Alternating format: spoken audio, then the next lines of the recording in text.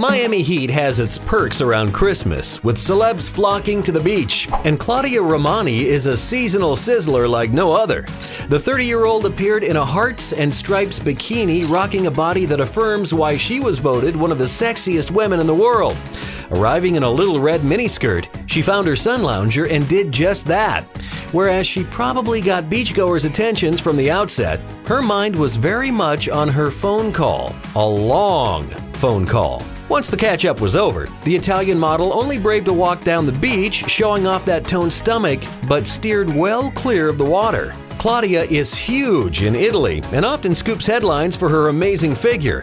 Most recently, she narrowly lost out to Beyonce in the VH1 vote for Best Bikini Body of 2012. But now 2013 is on the horizon. Maybe there's a chance for a rematch?